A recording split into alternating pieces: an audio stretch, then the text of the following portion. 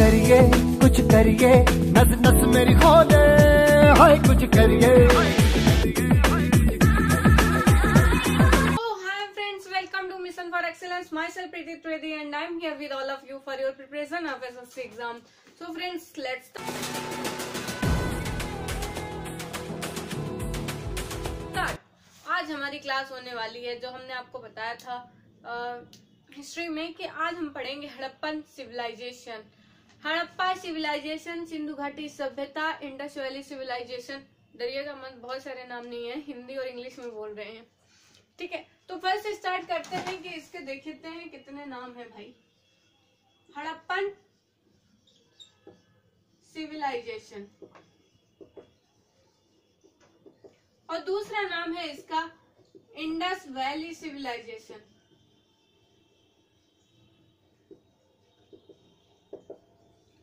या जिसको कहते हैं हिंदी में हड़प्पा सभ्यता और सिंधु घाटी सभ्यता। तो हड़प्पा सभ्यता या सिंधु घाटी सभ्यता की जो स्टार्टिंग होती है किसकी जो मतलब कि इसका जो पीरियड है, उसके बारे में जितने भी हड़प्पा या इंडस वैली सिविलाइजेशन के पीरियड की बात करते हैं तो वहाँ पे कहीं ना कहीं बहुत ज़्यादा ही मतभेद देखने को मिलते हैं। बट एक कहते हैं ना कि साइंस में जिन्होंने पढ़ा होगा, उन्होंने पता होगा कि कार्बन फोर्टीन की जो डेटिंग है, उससे हमें ये पता चला है कि इसका जो टाइम पीरियड है, जो इंडियन गवर्नमेंट मानती है, वो है 2500 बीसी से 1750 बीसी। यानी कि इस टाइम पीरियड में जो ये सिविलाइजेशन हुई थी, वो थी हमारी इंडस वैली सिविलाइजेशन 2500 बीसी से 1750 बीसी तक.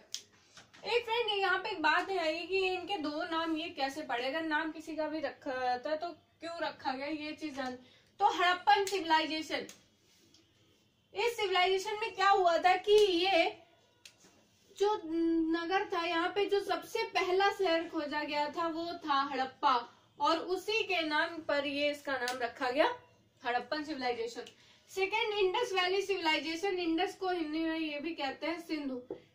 कहा जाता था स्टार्टिंग में जितने भी नगर मिले थे, जो भी इसकी साइट्स थी, वो सिंधु नदी के किनारे पे मिली थी। इसलिए ये सोचा जाता था कि ये शायद ये इंडस वैली तक मतलब इंडस जो सिंधु नदी है, वहीं तक सीमित है।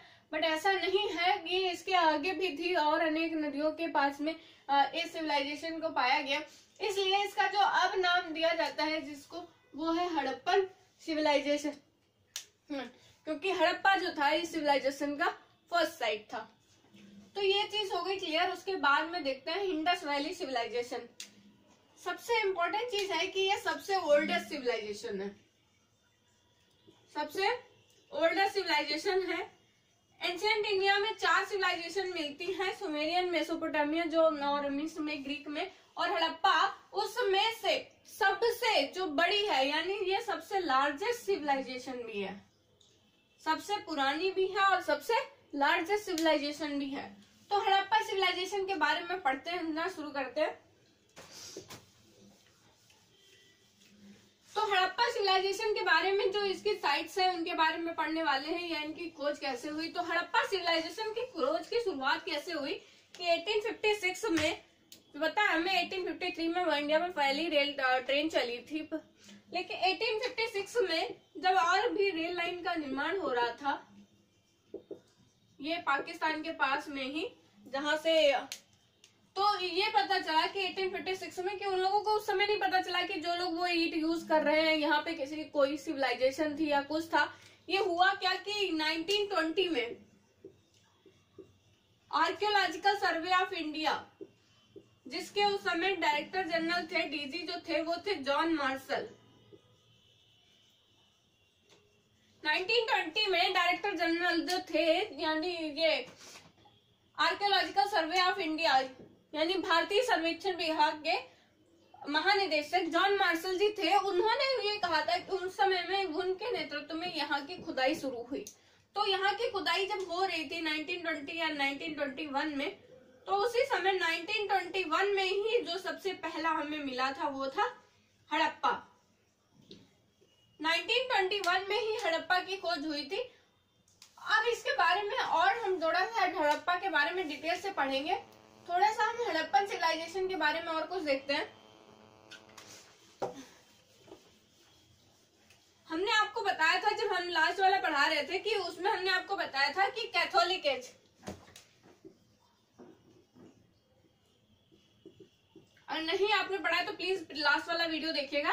कैथोलिक एज में मैंने बताया था कि यहाँ पे जो थी मनुष्य के द्वारा सबसे पहले मेटल यूज़ की गई थी, वो कापर यूज़ की गई थी। तो ये क्वेश्चन ये भी पूछा जाता है, हड़प्पा सिविलाइजेशन जो थी वो किस एज की जो है वो सिविलाइजेशन थी? तो ये थी ब्रॉन्ज एज की। ब्रॉन्ज एज की। तो ब्रॉन्ज एज में जो है वो ये ब्रॉन्ज मिल करके बनता है, ये साइंस का क्वेश्चन है, याद रखिएगा, ये दो मेटल्स का है, एक कॉपर प्लस टिन ये भी क्वेश्चन एस में पूछा गया है। इंपॉर्टेंट है कि ब्रॉन्ज जो है वो कॉपर और ट्रेन से मिल टिन से मिलकर बनता है। और इसी को ये कहा जाता है कि यहाँ पे जो कॉपर था वो पहले आ चुका था टिन भी आया तो इसे ब्रॉन्ज एज सिविलाइजेशन भी कहते हैं। तीसरी चीज़, एक और जो हमने लास्ट वाले चैप्टर में पढ़ी थी proto historic age proto historic age के बारे में अगर आपको मैंने कुछ जो बताया था, अगर आपको याद हो प्रोटो हिस्टोरिक एज में मैंने आपको बताया था कि यहाँ पे रिटर्न एविडेंस तो मिले हैं रिटर्न एविडेंस मिले हैं। लेकिन जो written evidence proto historic age यानी आधे ऐतिहासिक काल में मिले, उनको पढ़ा नहीं जा सका है। हड़प्पन सिविलाइजेशन भी, और हमने इसका टाइम पीरियड भी आपको बताया था। अब ये मैं नहीं यहाँ बताने आया प्रीवियस वीडियो देखिए। तो ये जो था कि हमने हड़प्पन सिविलाइजेशन बताया 2500 बीसी से 1750 बीसी ये प्रोटो हिस्टोरिक एज में ही आती है। और प्रोटो हिस्टोरिक एज यानी हड़प्पन सिविलाइजेशन उसी में लिखे। तो यहाँ पे रिटर्न में एविडेंस तो मिले हैं। लेकिन अभी उनको पढ़ा नहीं जा सका है। तो ये पूछा जाए कि हड़प्पन सिविलाइजेशन कौन से एज का है? तो प्रोटो हिस्टोरिक एज का है ब्रॉन्ज एज का है, कांस्य युगीन सभ्यता ब्रॉन्ज को क्या कहते हैं हिंदी में? कांस्य। ये भी क्वेश्चन पूछा गया है टाइम भी पूछा गया है। पहला शहर कौन सा खोजा गया था? हड़प्पा। और उस समय के वहाँ के महानिदेशक कौन थे जो भारतीय संरक्षण विभाग के? जान मार्शल, ये भी क्वेश्चन पूछा गया है। तो अब हम स्टार्ट करते हैं। कि अब हम एक एक को पढ़ेंगे कि कौन कौन से नगर मिले और कहाँ कहाँ से मिले। और आप लोगों को ये भी चीज़ पता होनी चाहिए कि हड़प्पा जो सिविलाइजेशन है, वो केवल इंडिया की नहीं है। ये हमको पाकिस्तान के जो बलूचिस्तान है, वहाँ से लेकर के जो इंडिया में है गुजरात तक, यहाँ तक इसकी साइट्स मिलती हैं। पाकिस्तान, जिसमें जम्मू कश्मीर भी आता है, सिंध भी आता है, ठीक है, पंजाब आते हैं तो ये गुजरात आता है। तो ये पाकिस्तान के बलूचिस्तान से लेके गुजरात तक फैली हुई थी। नियर अबाउट जो अभी का मतलब आया है कि उसमें कहा जा रहा है कि 1056 सिटीज़ तक थी यहाँ पे। तो ये एक, मैंने आपको ये भी बताया कि सबसे लार्जेस्ट सिविलाइजेशन थी, सबसे ओल्डेस्ट सिविलाइजेशन थी। तो अब इसको पढ़ते हैं कि अब इसमें जो भी साइट्स जो इसकी इम्पोर्टेंट इम्पोर्टेंट है, उसमें हम पढ़ने वाले हैं, जो पहला खोजा गया था, यानी हड़प्पा। तो हड़प्पा के बारे में पढ़ते हैं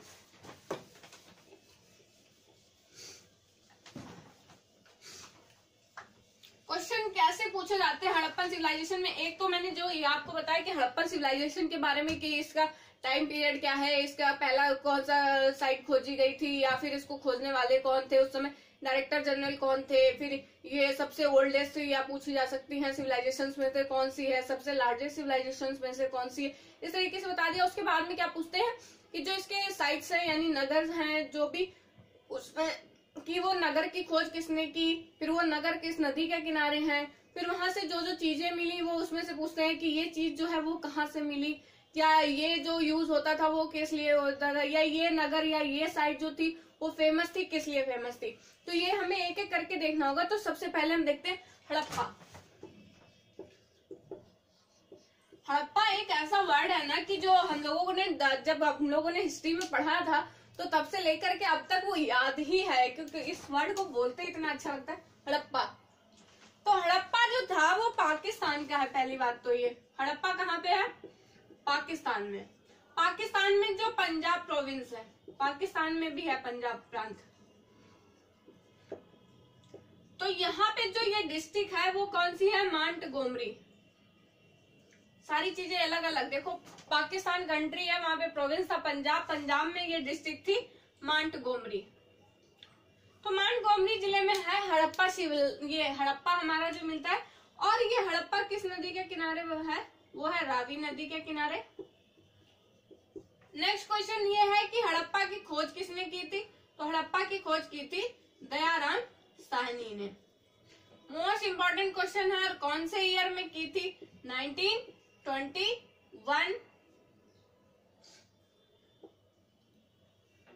सॉरी एडी 1921 एडी में इसकी खोज हुई। दयाराम साहनी ने की, हड़प्पा की।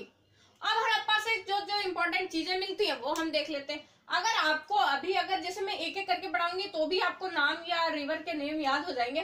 बट अगर नहीं याद होते इनकेस तो रिवर के नाम की एक शॉर्ट ट्रिक है, जो कि मैं आपको जब नेक्स्ट लेक्चर दूँगी तो उसमें बता दूँगी। बट एक चीज़ याद रखिएगा, हड़प्पा पाकिस्तान का है, पंजाब प्रोविंस में है माउंट गोमरी डिस्ट्रिक्ट में है, रावी नदी के किनारे इसकी खोज की थी दयाराम साहनी ने 1921 ईस्वी में। तो आप पढ़ते हैं यहाँ से हमें मिला क्या क्या यह एक काम कर सकते हैं, जो हमें यहाँ से मिला है ना, इसकी लिस्ट अलग से बना लेंगे कि सभी जगह में हमें क्या क्या मिला है। अभी हमें खोज और उनके जो उनको डिस्कवर किया जगहों के नाम और कौन सी नदी के किनारे है और उनके क्या स्पेशल चीज़ है, वो हम ज़्यादा जल्दी कर लेते हैं, ठीक है? तो नेक्स्ट हमारा क्या है? मोहनजोदाड़ो मोहनजोदड़ो से जो हमें मिलता है, वो क्या मिलते हैं कि मोहन जो है, ये सिंध प्रांत में है। ये भी पाकिस्तान में ही है।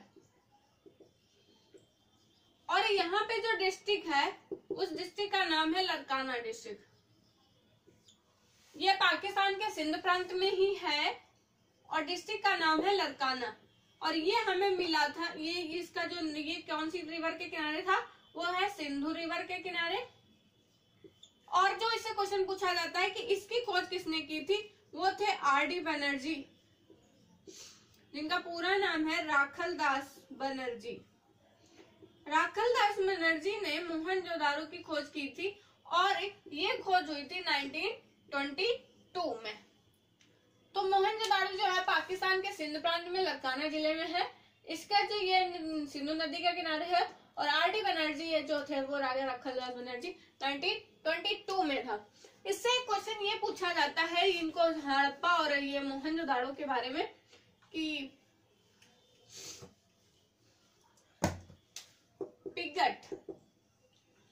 ये पर्सन का नाम है। इन्होंने जो था वो हड़प्पा एंड मोहनजोदाड़ो को ट्विंस कैपिटल कहा था। हड़प्पा एंड मोहनजोदाड़ो को ट्विन कैपिटल कहा था। कहा था कि एक बड़े साम्राज्य की दो जुड़वा राजधानियाँ हैं, हड़प्पा एंड मोहनजोदाड़ो वो किसने कहा था? पिगट महोदय ने कहा था। और ये क्वेश्चन भी एसएससी में पूछा गया है। Most important. पिगट ने बोला था कि हड़प्पा एंड मोहनजोदाड़ो जो है वो जुड़वा राजधानियाँ हैं। तो हड़प्पा एंड मोहनजोदाड़ो के बाद में तीसरा हम पढ़ते हैं लोथल। लोथल एक बहुत ही इम्पोर्टेंट साइट है, इसका यह नगर है। लोथल। लोथल जो है वो भगवा नदी के किनारे पे